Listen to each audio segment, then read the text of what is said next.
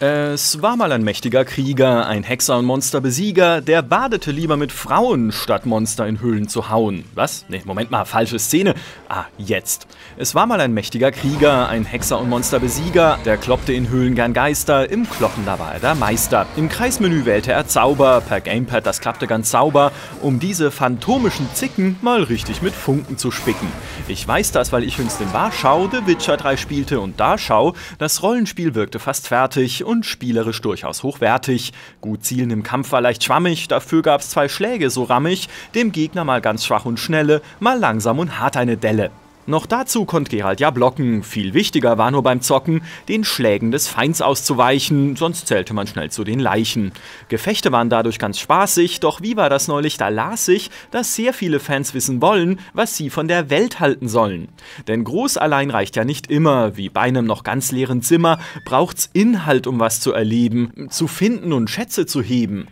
Gespielt habe ich selbst jüngst den Anfang des Spiels und danach kam der Hauptgang, eine Tour auf den Inseln von Skellige, die Landschaft hier ist eine gefällige. Sie zählt zu den drei Großregionen, zum Jagen von Monsterlegionen, die Stadt Novigrad ist die zweite, hinzu kommt des Niemandslands Weite. Es gibt da noch kleinere Ecken, die sich jedoch anfangs verstecken, erst später im Lauf der Geschichten führen Gerald auch dorthin die Pflichten. Das Schöne am Weltenerkunden ist aber, und da geht's um Stunden, dass Gerald auch einfach so reiten kann hier durch die frostigen Weiten. Und überall gibt es Schauplätze, an denen verstecken sich Schätze. Zum Beispiel fand ich ein Gemäuer und darin ein Schwert. Ungeheuer. Ich nehme die entwickelnden Polen beim Wort, wenn sie stets wiederholen, dass Hexer selbst in dunklen Grotten was finden und sei's nur Klamotten. Zudem gibt es in allen Winkeln Aufträge von sonst welchen Pinkeln, selbst das gottverlassenste Nestchen hat immer ein paar nette Questchen.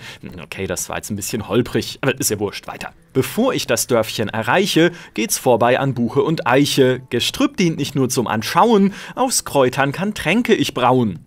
Und noch kurz ein Wort zur Kulisse. Was ich im Spiel gar nicht vermisse, ist nämlich mehr Leben am Rande. Es wuselt schon ziemlich im Lande. Selbst in diesem schimmligen Weiler, da grasen und grunzen die Keiler und auch rundherum in den Rüben Soldaten das Schwertschwingen üben. Ein alter Mann lehnt dort am Zaune, wahrscheinlich hat er schlechte Laune. Ganz anders das Kind mit der Mütze, das hüpft hochvergnügt durch ne Pfütze. In jedem Dorf steht noch ganz nett so, wie vorne da ein schwarzes Brett, wo die Einwohner Hilfe erfragen. Was arbeitslos, ich kann nicht klagen. Bergleute sind hier wohl verschwunden, ein böses Schaf hat man gefunden, ne Dame, die sucht einen Lover, das passt Gerald Marx undercover. Also undercover wie unter der Bettdecke, äh, wir verstehen uns schon. Und dann gibt's noch den alten Streiter, der wünscht sich mit 80 nichts weiter, als mit auf einen Raubzug zu gehen, ein letztes Gefecht zu bestehen. Das sind interessante Ideen, kein Standard, wie wir ihn oft sehen. Beim Sammeln von Pelzen und Ohren, da ginge der Spielspaß verloren.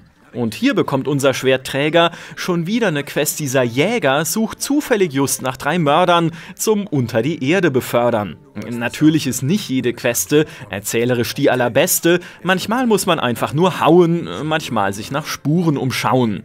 Natürlich kann ich auch nicht sagen, ob es später noch Grund gibt zum Klagen. Mein Spieltermin ging nur drei Stunden, dann war wieder Schluss mit Erkunden.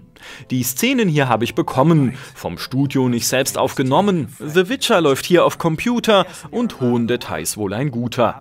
Es ginge sogar noch prachtvoller, bis sehr hoch und ultra viel toller, doch sind jene sehr hohen Grade noch nicht optimiert, das ist schade. Und jetzt höre ich kurz auf zu dichten, zu hören gibt's nämlich mitnichten, hier englische Sprecher die saugen, im Gegenteil gute die taugen. Folks see three yellow tops, they flee to their huts. Which don't help much, of course, because they're also fond of arson. No, haven't met him. If you do, tread careful. Der deutschen Version neulich lauschend fand ich es nicht ganz so berauschend, wie Sprecher im Deutschen so klingen, die englischen sind's dies mehr bringen. Der Wegweiser dient zur Schnellreise und Gerald springt praktischerweise von so einem Schild hin zum anderen und muss deshalb nicht ewig wandern. Die Ortsschilder muss er entdecken, wobei sie sich ja nicht verstecken. Man sieht's ja hier auf dieser Karte, gibt's Schilder wie Dokus auf Arte. Beim Reisen wie hier an den Hafen kann man mal sekundenlang schlafen, denn es gibt eine Pause zum Laden, danach kann der Hexer dann baden. Nur Spaß erreißt nicht aus Vergnügen, stattdessen führt Ich will nicht lügen, zur Burg hier der Streit um die Krone, die Königswahl, die ist nicht ohne. Die Tochter, die wirkt ganz geduldig, der kräftige Sohn macht sich schuldig, Entscheidungen nie zu durchdenken. Wer soll da das Königreich lenken? Der Hexer kann's aber auch lassen und bei dem Dilemma mal passen, dann wählt er halt keinen der beiden. Den Adel kann eh er nicht leiden. Egal wie man letztlich entscheidet, die Folgen der Hexer durchleidet, denn jede Wahl, die soll man spüren, viel Wege zum Ziele hier führen. Doch von solchen großen Geschichten ein andermal will ich berichten. Stattdessen geht's hier an die Küsten, getrieben von Beutegelüsten. Ein Leuchtturm, der lockt auf der Klippe. Wer hingeht, riskiert dicke Lippe. Womöglich haust dort ja ein Wärter in Form eines Monsters nur härter. Doch es gibt ja in diesen Fjorden auch leichtere Gegner in Horden, Echidnen zum Beispiel, die flattern da vorne im Winde und schnattern. Das Dumme an fliegenden Schuften ist, dass sie vom Boden verduften und lieber im Fluge angreifen, was sind Flatterviecher für Pfeifen. Und so kriegt man nur auf die Mütze, wenn man nicht agiert hier als Schütze und etwa mit loderndem Feuer vom Himmel holt die Ungeheuer. Zudem hat der Hexer eine neue, äh, Waffe, das ist seine treue und nützliche Armbrust, die Flieger zu Boden bolzt, Gerald bleibt Sieger. Und jetzt scheint er doch noch zu brauchen, ein Bad, nein, er geht lieber tauchen, selbst Meere beherbergen Schätze und Gegner und wichtige Plätze. Das war's und ich bin mir nicht sicher, ob mein Reimen hier erntet Gekicher. Das war ein Versuch und nur der macht ja klug, da macht's gut und bis bald, euer Micha.